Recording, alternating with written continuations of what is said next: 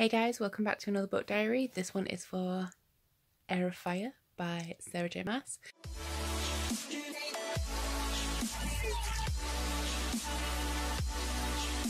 This is the third book in the Throne of Glass series, although if you count the novellas as the first book, then it's the fourth. But this is like the third book in the core series. I've been a little negligent starting this book diary, so I am already on page 128. So, first, I'm going to tell you what I remember about this book. I remember not liking the first half and thinking it was really slow, and then I remember it getting epic towards the end. However, as we all discovered in my Crown of Midnight vlog, I don't really remember which book is which in the Throne of Glass series. So the things that happen at the end of this, or that I think happen at the end of this, may only happen in Queen of Shadows. I don't know. As usual, this is going to be a spoilery vlog. I'm going to do this a little bit more like the style of the Warstorm one that I did, where it is more reaction and less of me going, I just read 50 pages, this is what I think. And we'll see how that goes. But I need to catch you up on the first 100 pages I've read. The first time around, I didn't care about Manon. Now that I've read the later books and know that I love Manon, so into her chapters, I think that's why I thought it was slow the first time around because I didn't care about Manon and I didn't care about Celaena being in Wendlyn and I still don't care about Celaena being in Wendlyn because the first time I read this, all I wanted was Celaena to go back to Adarlan to be with Chaol. This time around, all I want is to read about Manon. So I don't care too much about what Chaol and Dorian are doing at the minute. And I don't care what Celaena and Rowan are doing at the minute because they're just trekking through the woods. The only person I'm interested in right now is Manon. Obviously, I know all the narratives tie together and then everything becomes relevant, but that's where I'm at at the minute. So, Rowan is an asshole. I remember why I didn't like, well, no, I remember I didn't like him. Like, I much prefer Chaol to Rowan, but I couldn't remember why, and it's because of how mean and nasty and aggressive and there's another word. There's another word, but I can't remember. Anyway, he's just an asshole, and then he bites her, and I'd be like, bitch, don't touch me because that's bang out of line. Like, I know from ACOMAF that's territorial thing, and like he said, you shouldn't bite another male's woman and all that bullshit. Like, he does grow on me, like I do. Oh, look, I'm rendering a video. Um, I do kind of like him. I don't love him, he's not my OTP of the series, that will always be Celaena and Chaol, but I do end up liking him in the end. But yeah, he's a dick. Another thing is that I only really care about the witches because, unlike the first time I read it, when I was waiting for Celaena to go back to Chaol, so I was like all into those narratives. Now I know that Celaena is not going back to Chaol. She's going to stick with Rowan because whatever reasons, I don't remember. I don't care where those narratives are going as much as I did the first time around. But I am loving Manon's chapters because the first time around I didn't like her at all, so I didn't care. But now my badass, beautiful queen is just slaying and I love it. I just want to read this excerpt from chapter 14. Like, I'm way past there now, I'm on like chapter 20 something, but I started the vlog late, as I said, and I just needed to share this with you. It is a passage from chapter 14, and let's see if this reminds you of anybody. And then she saw him, the man standing behind the barrow. Not a white, she glimpsed only a flash of pale skin, night dark hair, unfathomable beauty, and an onyx torc around his strong column of a neck, and blackness, a wave of it slamming down on her. Not oblivion, but actual dark, as if he'd thrown a blanket over the two of them. Um, oh my god, that was so common. As if he'd thrown a blanket over the two of them. Major Rhysand vibes. So much Rhys. Just like, that's just, it sounds like Rhys, And I don't know if that's intentional, but that to me just screamed Rhys and. I just read the chapter where Abraxas arrived and I forgot how sweet he was. He's literally the cutest thing ever and I love him so much.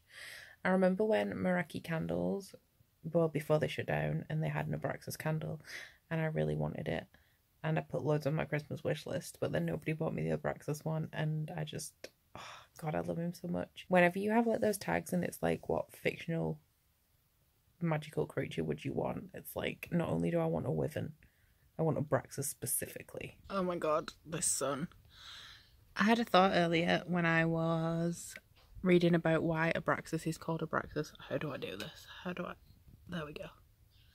Nope, nope, not helping. Is this? There we go. And she said that she called she named Abraxas after a snake that guards the earth or something, and it reminded me of the Midgard worm in Norse mythology, and then the witches also worship the three-faced goddess who is like the three fates in Greek mythology and then I felt like a mythology nerd because I read some mythology books in March or April and I actually retained some information which is good. This sun is just like relentless. And then that also made me think about the Middengard word worm in A Court of Thorns and Roses which sounds like the Midgard word worm. And yeah, I'm liking the mythology because A Court of Mist and Fury is a Hades and Persephone retelling as well. So Sarah J. Maas clearly like does know a mythology, and I love mythology. It's just great. Like I just, I'm not a religious person, but I I feel like I would be so much more behind religion if it was mythology because that would be cool, and like dragons and Pegasus and all that fun stuff. I'm still fighting the sun, but I just got to a part where Celaena says to Rowan that she doesn't need him to make her feel worthless because she can do it all right and it's on her own. And the Paramore song is stuck in my head now. Um, it's caught in the middle where it's like, I don't need no help. I can sabotage me by myself. Don't need no one else. I, I can't breathe anymore. But yeah, that was just like stuck in my head for ages when I read that bit so I thought I'd share it with you. I think it's funny that Aedion and Celaena both assume that they would hate each other now because of the things that they've done. Speaking of Aedion, he's probably one of my favourite characters. Like, I like him a lot more than I like Rowan. He's just a, a stand-up sexy fae, half fae, fae heritage guy. Also really interesting that they have like a completely different attitude towards marrying each other. Like Celaena's like, hell no, I would never marry Aedion, whereas Aedion's like, yeah, I'd do it if I had to, if she wanted me to. I'd marry her. I just can't wait for everyone to meet up, you know, like everyone's all spread out. And I just want, I can't even remember, I don't even think it's in this book, but I can't remember Manon and what she does and how she comes, becomes relevant to the plotline. So I'm waiting, I'm waiting for Manon. Because she's pretty much all I care about, like, she just stole the spider silk to put on her Abraxas' wings and I'm like, yes girl, you slay, you do this. So who are these creepy guys in collars? I don't remember. This is the really strange thing about rereading this. Like, you think I'd know what was happening, but, like, I don't remember. I don't remember what happens with Ren and Murtaugh. I don't remember when Lysandra turns up, because I'm waiting for that. I don't remember who these guys are with the collars. I don't really remember the thing with the black rings, although I do know about the black stones and, like, to do with magic and control and stuff. And I think I remember the reveal at the end of this book. But, like, who are the guys with the black collars? What are they? Something to do with the Valg, but I don't remember. Like, I just, I have no idea. Shout out to Aedion for calling Chaol out and being an absolute wuss. I forgot how much of a coward he was in this book, but he really is. Like, he won't pick a side. He's all about honour, but he doesn't have the whatever it is that it takes him to make a decision. Like, he just can't, he can't fight for something. He can't decide what to fight for and it's really sad because I used to love Chaol. I used to think he was great and I do still love Chaol. Like that will always be my favourite pairing for Celaena. Celaena and Chaol. But yeah, he's just a complete wuss in this book and it's it's sad. I think that Chaol's character gets like completely destroyed throughout the course of the rest of this series. I'm guessing he redeems himself or Sarah J Maas chooses to redeem him in Tower of Dawn, which I still have not read yet. And there's also something that happens to Chaol which leaves him in a position to go for Tower of Dawn but I don't remember how that happens. Like I know what the outcome of whatever happens is but I don't remember how it gets like that. So yeah I'm hoping that Tower of Dawn is going to be good because Chaol's reputation and life and everything is in tatters after Crown of Midnight. Here I am again in the sun unable to see because that seems to be my brand right now. I forgot that all the slaves in Calaculla and Endovier were killed and now I'm kind of sad. So I just thought I'd let you know that I'm sad. I thought she freed them. How could I not remember this? What happens, I guess. Why do I even bother reading books? I literally remember nothing that happens ever. I'm getting so nervous now because everything's kicking off. Like Rowan and Celaena are preparing for battle against the Valg creature things. And I know that Chaol's going to leave for Anielle, but I don't think he ever does leave for Anielle, and things are heating up over there and I know it's going to end badly for Sorscha, and I, I know that it ends badly for Sorscha. What is on my hand? And yeah, I know it ends badly for Sorscha, but I don't really remember what happens with that so I'm getting kind of nervous for that and just getting into the last hundred pages soon so I know that things are going to kick off and it's going to be epic and it's going to be tragic and yeah I'm not sure I'm ready for it. I just love that moment when everyone's at the theatre and they start playing all of the I guess the like national anthems of all of the fallen countries.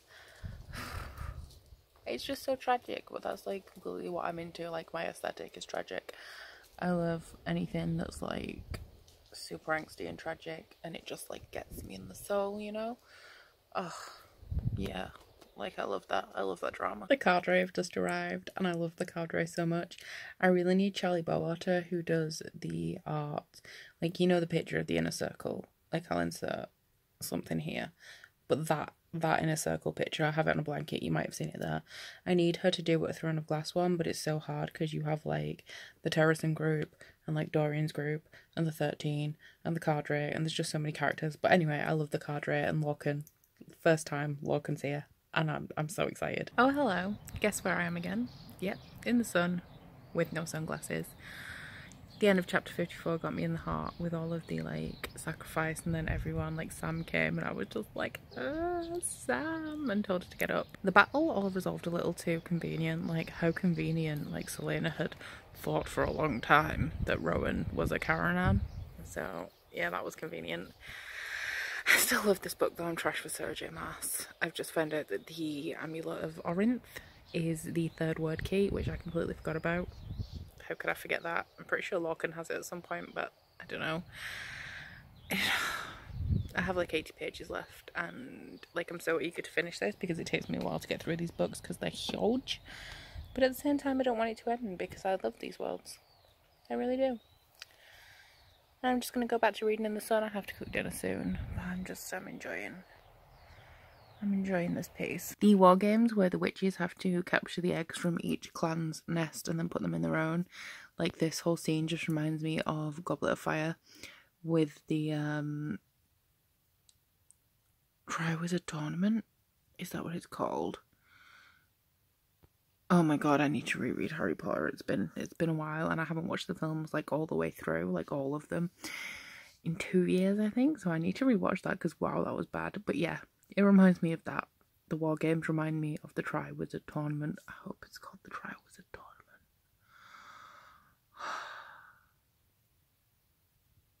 Maybe I just need to sleep. Right, so I remembered that Chaol didn't go to Anielle. But the king has summoned them all to his throne room or whatever. So Aedion, Dorian, Sorscha, and Chaol. And I don't remember why and it's so tense. I think this something bad happens to Sorscha, but I don't know what happens to anybody else. So I forgot about Aedion and Dorian. I thought they all got out together, although I thought this book ended differently. I'm not going to say how because spoilers for you that have read Heir of Fire and not Queen of Shadows. But I think that I thought the end of Queen of Shadows was the end of this one. So I don't remember Dorian getting a collar on and um, Aedion being captured. I have no idea how Aedion gets out, and I don't know what happens with Dorian and the collar. Hmm, Sorscha I know about. I don't know what happens with Chaol now. Yeah, I've got I've got like ten pages left, so I'm done with of Fire. I will show it to you, but it's just jacketless, so not very exciting. Also, you vibing my hair right now. It's, it's beautiful, isn't it? See, I like having long hair, but I don't do anything with it. Like, literally, it just gets in my way. So I do this. Anyway, the book. Five stars, but I enjoyed it for a different reason than I enjoyed it the first time. The first time around, I only cared about Celaena and what she was doing, and I was waiting for her to go back to Chaol. This time I only cared about the witches, but this kind of it feels like a filler book in the series because it's just bridging the Celaena chapter with the Aelin chapter. So now she's going to go back as Celaena and put things into place to take over the world as Aelin. So it does feel like the filler book in the series. But I'm hyped to start Queen of Shadows. I am going to take a little break from the series because I don't like to read them back to back because they're too too dense. But I will be back with that book diary, which could possibly be my next one. The book diaries I have coming up are Lifelight by Jay Kristoff whenever that arrives and I read it. I have Furyborn, The Smoke Thieves, Queen of Shadows. One of those will be coming to you soon. But that is it from me today. Like, subscribe, whatever. I never sign off my vlogs properly because I'm just like not in the zone.